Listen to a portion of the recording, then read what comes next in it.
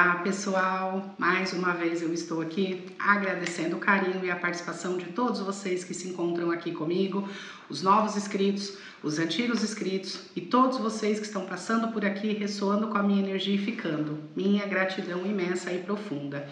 Também devo sempre lembrar de agradecer a toda essa turminha do bem, esta egrégora maravilhosa que me ampara e me acolhe já há muito tempo, e os arcanjos. Arcanjo Miguel, Arcanjo Gabriel e Arcanjo Rafael, que são os patronos da minha vida, desta mesa, deste canal, aonde aqui sempre iremos falar de amor, orientações e cura. Bom, hoje eu volto aqui para fazer a leitura mensal para o mês de setembro para o signo de Leão. Então, se você tem Sol, Lua, Vênus, Júpiter ou ascendente no signo de Leão, essa leitura é para você. Se você também não tem, mas está lidando com algum leonino, alguma leonina, fica por aqui que eu tenho certeza que a espiritualidade tem um conselho, um recado, uma dica, uma orientação para você ok? Lembrando que é uma leitura coletiva, então, claro, são muitas energias, não vai ressoar com todo mundo e tá tudo bem. Pega para você somente aquilo que faz sentido e aquilo que não faz sentido, solta para o universo que ele é inteligente, ele se encarrega de entregar para a pessoa certa, ok? Pedindo licença para entrar na constelação de Leão, que aliás, né, eu amo fazer a leitura de Leão porque a minha lua é Leão. Então, sabemos que a Lua é o que está mais próximo da Terra, então fala muito conosco. É, também veja a sua Lua em qual signo que está, com certeza vai ter um complemento para você também dessa leitura lá na sua Lua, tá bom? Se eu não fosse escorpião, né, eu seria leão. Eu sou do signo solar de escorpião e a minha Lua é leão. Então, eu amo essa energia de fogo, né, de transmutar, de tacar fogo no parquinho, de queimar aí realmente realmente tudo aquilo que não faz mais sentido, que não está no meu propósito, eu realmente taco fogo, incinero e vida que segue. Bom, vou iniciar aqui com o oráculo Desperte a sua luz. Vamos verificar qual é que é a energia, a vibração, o conselho, a orientação que o oráculo tem para nós no dia de hoje, neste mês de setembro de 2024 para o signo de Leão de forma clara e objetiva. Vamos lá, espiritualidade. Leão, setembro de 2024, de forma clara e objetiva. O que nós temos espiritualidade? A iniciação, rito de passagem, cruzando o limiar. E olha, eu tô toda arrepiada porque eu disse para vocês que eu sou do signo de Escorpião, né? E a minha lua é em Leão. E esta lâmina saiu para o signo de Escorpião. Foi a primeira lâmina que saiu para eles. Então, se você também quiser assistir o signo de Escorpião, talvez você tenha alguma mensagem lá, um complemento da sua leitura e vai te beneficiar. Esta carta ela fala de vocês iniciando um novo ciclo, é o rito de passagem, saindo dessa caverna escura, encontrando um caminho, né? Encontrando uma porta que vai te levar a uma claridade, que vai te levar a um caminho agora amplo, claro, iluminado, tá? Vocês estão aí, ó, cruzando o limiar tem um momento bem significativo no mês de setembro para vocês. Inclusive, setembro ele tem a, o número 9, que na numerologia significa encerramentos, fechamentos de ciclos, né? Para que a gente possa entrar aí né, no mês 10, num novo ciclo. 1 mais 0 na numerologia volta para o 1, que é o início, tá? Lembrando que este mês de setembro nós vamos ter aí a configuração no céu, tá bem significativa. Nós vamos ter aí um eclipse no dia 17 de setembro, que também traz alinhamentos, traz desfechos dentro de relacionamento, traz aí né, aprendizados e lições sobre karmas coletivos e karmas individuais. Lembrando que karma, como eu sempre falo, são lições, aprendizados, tá? E o eclipse ele pode ficar reverberando por até seis meses essa energia conosco. Então, ou seja, vocês estão cruzando um limiar e aí por um período de seis meses vocês vão ter, né, muita clareza, portas abertas, iluminação, né? Chegou o momento de Leão brilhar. E Leão é o brilho, Leão é o sol interior, Leão fala de generosidade, de capacidade, senso de justiça, Leão fala de liderar a própria vida, né? Assumir o controle da vida. E aqui vocês vão sim, de fato, assumir esse tempo difícil, né? Esse tempo escuro, algumas pessoas aí passando pela noite escura da alma, algumas pessoas aí tendo, né, decepções, desilusões, se eu não me engano, a leitura do mês passado para vocês veio falando sobre pessoas que tentavam derrubar vocês, né? Pessoas aí que realmente estavam tentando aniquilar vocês. Tudo isso fica dentro dessa caverna, tá? Porque vocês realmente cruzam esse limiar e vão agora para águas tranquilas. Que lindo, Leão, que lindo. Gratidão e espiritualidade. E no fundo do deck, você já está fazendo isso. Não pense demais, só siga em direção ao seu norte, tá vendo? É exatamente isso. Vocês já sabem para onde querem ir. Olha, né, essa clareza aqui, ó, o azul, o rosa que tem aqui, tem nessa carta também. Então, ou seja, você já sabe que aqui não dá para ficar, né? Você quer ir para o seu norte o, os eixos, né? O nó do sul é a cauda do dragão, fala do passado, fala aí realmente de vidas passadas, débitos kármicos, aquele acervo, né? Que nós trazemos na bagagem. E o nó do norte é onde está a nossa missão, é o caminho que nós temos que trilhar nesta jornada, né? E então aqui vem falando, você já está fazendo isso, você já sabe, né? a direção que você tem que seguir. É o norte, é para frente, não é mais para ficar olhando para trás. Não olhe para trás. Quando você atravessar essa caverna aqui, esse portal, cruzar esse limiar, o que ficou aqui, ó, ficou. As lições, os aprendizados, as pessoas, fica tudo para trás. É um novo tempo agora, tá, Leão? Que lindo. Então não pensa demais não. Atravessa aí, ó. Vai ser feliz, Leão. Vai viver aí o bom da vida agora, tá? Vocês passaram por uma situação aí por alguns meses, alguns anos aí para algumas pessoas bem trash. Então agora é hora de viver o melhor da vida, tá? Esse esse esse eclipse, eu sinto que para Leão vai ser muito forte, tá? Vai ser assim realmente impactante, vai ter mudanças significativas e esse alinhamento, se você está se sentindo desequilibrado, você vai entrar em um equilíbrio, vai se alinhar para entrar nesse propósito aí realmente, né? Que é a direção do norte, tá bom? Que lindo! Gratidão espiritualidade. Como eu disse, né? Leão, para mim, escorpião é muito conectado. E, e eu chego arrepiei porque a primeira carta que saiu foi a iniciação, que foi a carta que saiu também para escorpião. Bom, vamos lá, com o Arcano Tarô, vamos verificar qual que mais é o conselho, orientação para este mês de setembro para o signo de Leão Espiritualidade, de forma clara e objetiva. Fale mostre, signo de Leão. Vamos lá? Salve o grande espírito que move o mundo, as consciências que me amparam, guias, xamãs, orixás, arcanjos, encantados e elementais. Minha mentora de cura, o que nós temos para Leão? Vamos lá? A Lua. Primeira carta que saímos aqui foi o Arcano Maior da Lua. A Arcano Maior número 18. A Lua ela fala de sentimentos, a Lua ela fala de emoções, a lua traz muito forte o feminino sagrado, né? Lembrando que todos nós temos o masculino e o feminino dentro de nós, independente se somos homens ou mulheres. Tarô também, ele não é gênero, tá, pessoal? Ele é energia, mas todos nós temos o yin e yang. A, a lua ela também fala de colheita, né? Tem uma colheita aqui para vocês, devido a ficarem muito tempo nessa caverna, nessa escuridão, tá? Sim, pessoal, plantávamos e colhíamos em algumas fases da lua. A lua ela tá muito forte, como eu disse, esse mês de setembro nós temos configurações no céu aí muito forte. Essa essa essa conjunção de sol e lua em virgem também traz muito aí é, o olhar para as nossas emoções, para as nossas águas internas, né? A lua, ela fala com signo de peixes, né? Que é a última casa da mandala astrológica que fala do inconsciente. Então, emoções vindo à tona, né? Também fala sobre é, escapismo, cuidado com vícios, né? Cuidado com aprisionamentos mentais. Também fala de karmas, de vidas passadas, né?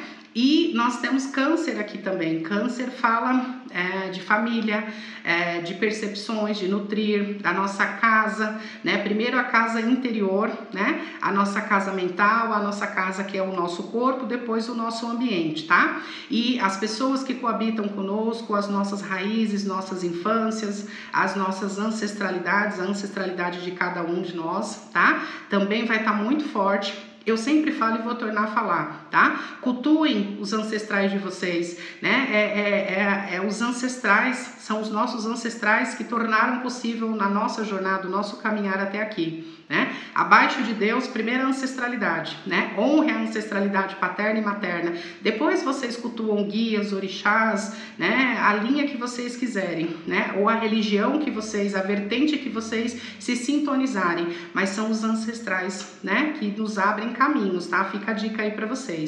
E esta carta, por nós termos aqui essas águas profundas e esse portal, eu também sinto escorpião, tá? Então, peixes, câncer e escorpião, que é do reino das águas, que fala de cura. Aqui tem uma cura para leão que ficou muito tempo nessa escuridão, para leão que ficou muito tempo lidando com pessoas, né, oportunistas, pessoas vigaristas, né, pessoas mercenárias, competitivas, podem ser de família, sim, como podem ser pessoas familiares para vocês, tá?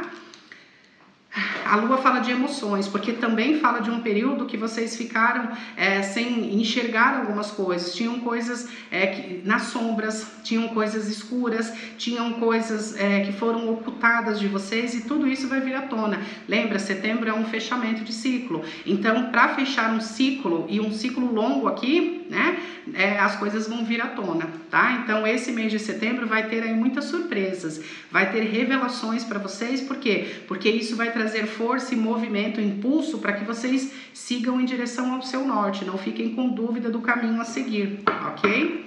Ó, no fundo do deck ficamos com três de ouros. Três de ouros é uma carta que fala de colaboração, de cooperação, é a carta que fala do ensino, mas também do aprendizado. É a carta que fala do pilar, né? Da, da reestruturação, da reconstrução, vocês se reconstruindo depois de um período difícil é ouros, né? Então fala da terra, do aterramento, touro, virgem e capricórnio. Ah, Para mim, eu sinto também aqui a, a, a, Santíssima Trindade, né? Pai, mãe, filho, causa, lei e efeito. As três cores, né? Que se entrelaçam da chama trina, que trazem amor divino, sabedoria divina, poder divino, tá? Algumas pessoas aí podem sim ter passado um longo período numa triangulação amorosa, né? Um triângulo amoroso, sim. É, podem sim ter tido uh, uma terceira energia, né? Se não foi uma, um triângulo amoroso, pode ter sido uma terceira energia que se enfiou dentro de um relacionamento e trouxe um baita causa aí para vocês, ok? Por isso que eu falo, a lua fala de coisas ocultas também. Mas tem verdades aqui vindo à tona, ok, Leão? Gratidão e espiritualidade. Bom, vamos lá. De forma clara e objetiva, espiritualidade para Leão. O que mais nós temos, por favor? Vamos lá? O enforcado. Gente, eu amo o que eu faço, faço com muito amor. Um arcano maior clarificando outro arcano maior. Lembra, acabei de falar para vocês, né, da casa de peixes aqui, né, que fala é a última casa na mandala astrológica. E o enforcado rege peixes. Então, tem peixes muito forte aqui. Ou vocês estão lidando com alguém do signo de peixes ou lidaram, ou tem peixes muito forte no mapa de vocês.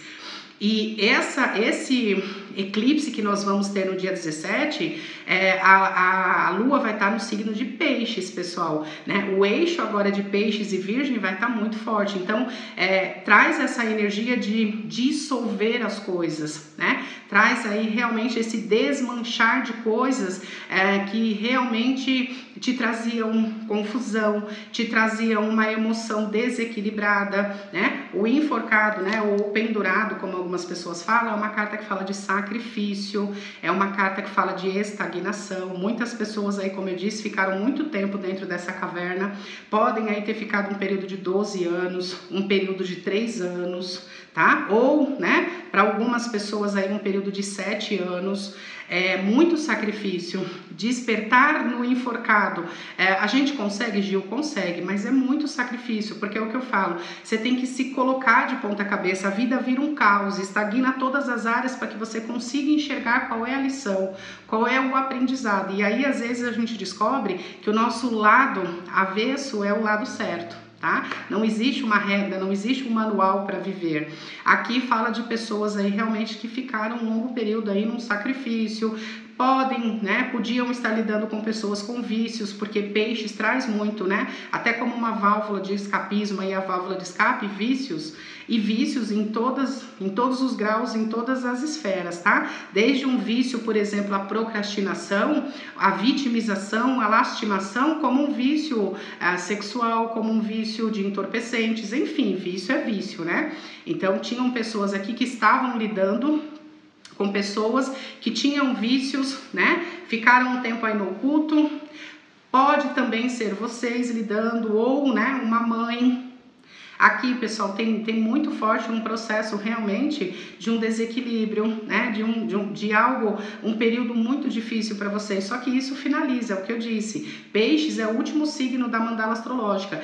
Depois de peixes, nós abrimos a mandala com Áries, que fala do fogo, da ação, do movimento, que também é o elemento faz parte do elemento fogo, que é o elemento de leão, tá bom? Então aqui realmente tem pessoas que podiam estar lidando com com desequilíbrios mesmo, né? O emocional abalado. É, aqui foram pessoas que tinham um karma no lado emocional.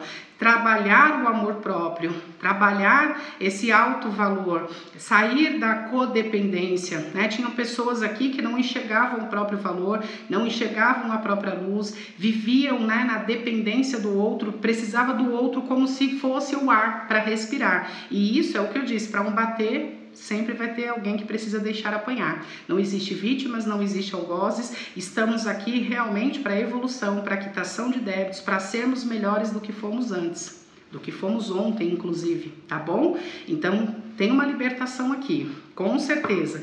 E olha, no fundo do deck nós temos um oito de paus, que é do elemento fogo, que fala realmente de uma ajuda da espiritualidade, um mover. Paus é, é o fogo caindo do céu, né? São sincronicidades, são ajudas espirituais para realmente fazer com que você avance. Oito de paus é uma carta que fala de avanço, de deslocamento, de mudança. É uma mudança em tudo, uma mudança mental, uma mudança comportamental, uma mudança de hábitos, né? Uma mudança geográfica podendo ser uma mudança de casa, de trabalho, é, de cidade, tá? É uma mudança na forma, no estilo de vida, enfim, tem mudanças aqui e é amando, né, do andar lá de cima. Para quê? Para que vocês saiam desse sacrifício, para que vocês saiam, né? Tem uma liberação de karmas aqui. Como eu disse, esse mês de setembro para Leão vai ser muito forte, principalmente esse eclipse. Nós vamos ter dois eclipses, o do dia 17 de setembro e o de dia 2 de outubro. Mas observem esse do dia 17 de setembro. A partir do dia 17, né? E a lua é dia 18. Então, depois do dia 18, vocês já vão começar a sentir frequências, né? Energias diferentes rondando vocês, ok? Gratidão e espiritualidade. Para algumas pessoas, a partir do dia 12 desse mês, vocês já começam realmente a se direcionar para esse portal aqui, ó, para essa porta da caverna, para cruzar esse limiar, ok? Gratidão. Vamos lá? E essa leitura ela também está falando muito comigo, tá? Diga-se de passagem. Vamos lá, espiritualidade, por favor. Eu vivi tanta coisa, né? E torres do ano passado para cá, que parece que foi a minha vida todinha num único ano. Mas amém, amém, gratidão, espiritualidade. A gente aprende assim. Vamos lá? O três de paus é exatamente isso. Três de paus é o chamado, é o id de Deus. É vocês ouvindo a espiritualidade, é o elemento fogo.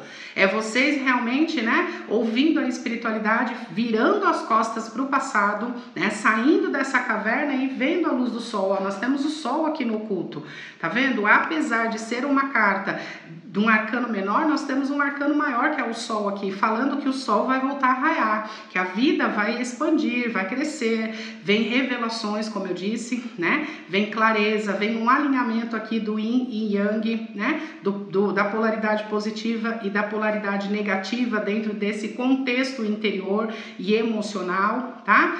O três de paus aqui fala: vire as costas para o passado, não olhe mais para trás. Você finalizou um ciclo, um ciclo longo, um ciclo de dor, um ciclo com sacrifício e agora é hora de olhar para frente, né? Como fala aqui, ó, você já está fazendo isso está indo em direção ao seu norte, tá? Não pense demais, siga em frente. O três de paus fala siga, e é por isso que eu disse, também é uma carta de movimento, tá? Pode ser uma mudança de trabalho, de relacionamento, de casa, pode ser um afastamento de pessoas aí que são familiares para você, mas que, né, já não estão mais na mesma energia. Fala Vá para frente, olhe para frente, não, sabe, não pare de ficar olhando para trás, sabe? É aquele momento, né, que se você olha para trás você vira uma estátua de sal, é exatamente isso. Então só siga em direção ao seu norte.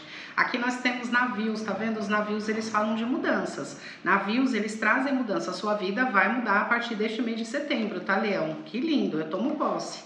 Tem mudanças aí, mudanças benéficas, porque o Sol é, o arcano maior número 19, que traz realmente um divisor de águas, traz uma consciência crística, traz ajuda espiritual, ok? Gratidão. Vamos lá, espiritualidade. O enforcado. O enforcado vai espelhar com o quê? O enforcado espiritualidade, com nove de espadas, tá vendo?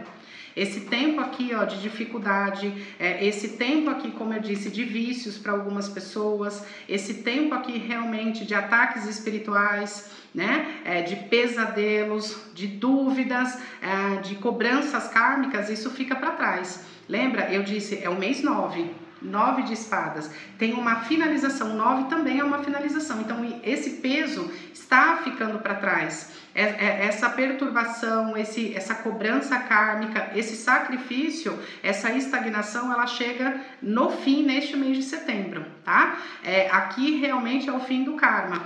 É, é, essa mocinha aqui, ó, se você observar, ela tá sentada, né, com a mão na cabeça, numa preocupação, sem saber o que fazer, sem saber qual que é a porta que ela vai abrir ou que vai se abrir para ela.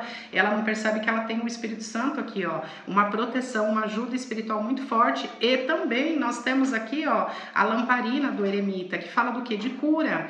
Tem cura nos seus caminhos. Tem realmente aquele momento agora de sair desse karma, de sair dessa estagnação tá finalizando um ciclo aqui para vocês. Vocês vão romper, né? É, e é o que eu disse, esse, esse eclipse vem trazer para vocês aí uma mudança significativa na vida de vocês e a confirmação de que o débito foi quitado. As energias densas, elas ficam para trás. Aqui, ó, mais uma confirmação. O 3 de paus, ele vem confirmando com a lua. 3 de paus é seguir em frente. A lua fala de passado, de vidas passadas. Então, não olhe mais para trás. Não olhe para o passado. Isso aqui já ficou, né, para trás, essa porta se fechou. Quando você atravessa aqui essa caverna, essa caverna se fecha, não tem mais como voltar, tá? Então aqui é só o norte, é só a frente, só siga em frente, em direção realmente à iluminação, né? Há mudanças aqui para vocês.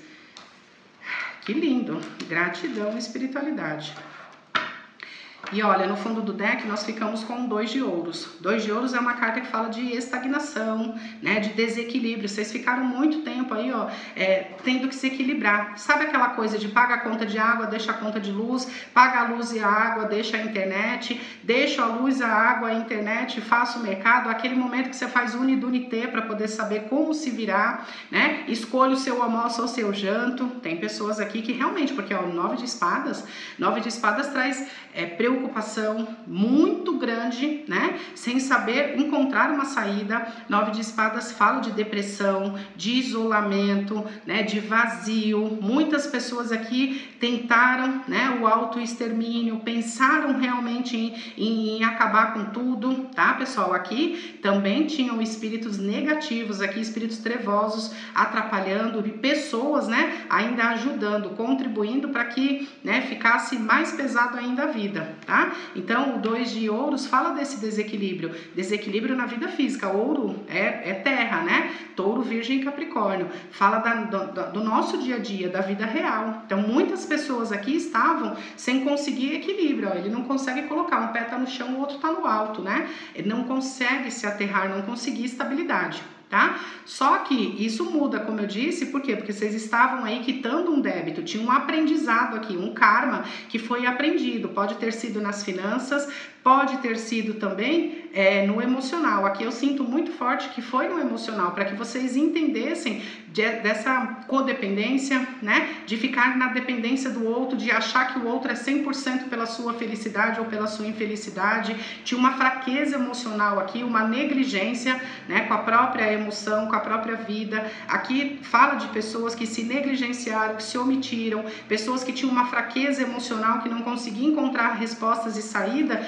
e que em outras vidas cometeram o auto extermínio. E nessa vida pensaram várias vezes em repetir esse padrão, mesmo que inconsciente, porque a lua está aqui, né? A lua fala do inconsciente, mesmo que fosse inconsciente, era esse desejo, ah, eu vou acabar com tudo, porque aí, né, é, eu paro com esse sofrimento.